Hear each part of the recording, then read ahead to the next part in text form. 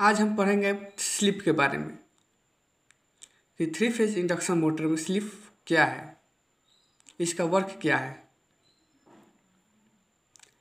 पिछले लेक्चर में हम लोग थ्री फ़ेज़ इंडक्शन मोटर के वर्किंग प्रिंसिपल को देखे थे।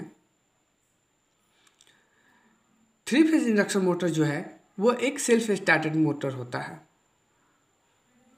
और ये एक एन साइक्रोनस पे काम करता है ये साइक्रोनस स्पीड पे काम करता है।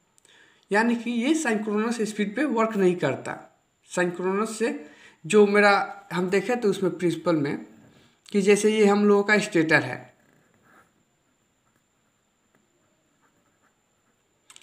स्टेटर में जब हम थ्री फ़ेज़ सप्लाई देते थे तो इसमें एक रोटेटिंग मैग्नेटिक फ़ील्ड प्रोड्यूस होता था रोटेटिंग मैग्नेटिक फ़ील्ड जिसे हम, ये रोटेटिंग मैग्नेटिक फ़ील्ड का जो स्पीड है, उसे हम नोट करेंगे। एन एस से डिनोट करेंगे, जिसका नाम हम देंगे साइक्रोनस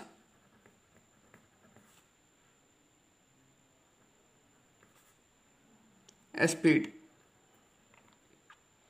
ये जो रोटेटिंग यहाँ पे एन पोल और साउथ पोल जो बन रहा है, ये किस स्पीड से रोटेट कर रहा है यहाँ पे? उसी को हम बोलते हैं रोटेटिंग मैग्नेटिक फ़ील्ड और यहाँ पे हम लोगों का रोटर लगा हुआ है। नॉर्थ एंड साउथ पोल जो है, जैसे रोटेट करेगा, उसी उसी हिसाब से मेरा ये रोटर भी रोटेट करेगा। जिसका जो स्पीड है, उसका, वो एन आर ले लिए हम। रोटर स्पीड और स्लिप का जो फॉर्मूला होता है, वो N S minus N R by N S जहाँ की एन एस और एन आर जो है, वो मेरा स्लिप स्पीड है। जैसे कि हम मान लिए, हम लोग का रोटेटिंग मैग्नेटिक फ़ील्ड का जो स्पीड है, वो वन थाउज़ेंड आरपीएम है। जो रोटेटिंग मैग्नेटिक फ़ील्ड का जो स्पीड है, वो वन थाउज़ेंड आरपीएम है। और हम लोगों का जो रोटर का स्पीड है, वो 960 आरपीएम है। तो यहाँ पे कितना का डिफरेंट है? 40 मतलब चार परसेंट यहाँ पे डिफरेंट आ रहा है। तो जो चार परसेंट है यहाँ पे परसेंटेज यदि देखें चार परसेंट दोनों के बीच में डिफरेंट है। ये चार परसेंट जो होता है वो मेरा स्लिप कहा जाता है। यही मेरा चार परसेंट स्लिप है। तो हम लोग को यहाँ पता है एन और माइनस एनआर जो है वो मेरा स्लिप है और एनएस जो है वो सिंक्रोनस स्पीड है।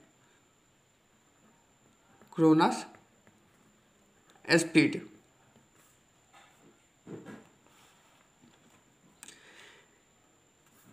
तो हम कह सकते हैं यहाँ पे जो एन एस का जो स्पीड है साइक्रोनस स्पीड का जो स्पीड है, वो अधिक होता है रोटर के स्पीड से।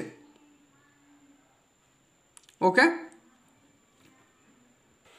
यहाँ हम बोल सकते हैं the slip in an induction motor is difference between the main flux speed यानी कि rotating magnetic flick rotating magnetic flux and their rotor speed हम स्लिप बोल सकते हैं रोटेटिंग मैग्नेटिक फ़ील्ड या हम मेन फ्लक्स स्पीड और रोटर स्पीड के बीच का डिफरेंट है।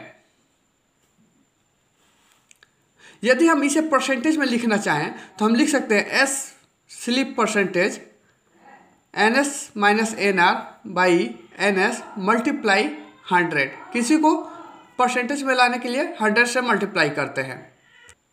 यदि हम स्टैंड स्टील की बात करें, स्टैंड स्टील, ये हम लोगों का केस फ़र्स्ट है कि जब मेरा एन आर का जो स्पीड है वो मेरा ज़ीरो है मतलब इंडक्शन मोटर जो है वो रोटेट नहीं कर रहा है। तो यहाँ पे हम N R equal to zero ले लिए तो स्लिप हम लोगों का क्या आएगा? S equal to N R by N S by N S क्योंकि एन आर जो है हम लोगों का ज़ीरो है, स्टैंड स्टैंड स्टील पे है। जो इंडक्शन मोटर है वो वर्क नहीं कर रहा है रोटेट नहीं कर रहा है। तो इस टाइम हम लोग का जो स्लिप होगा वो मैक्सिमम वन होगा।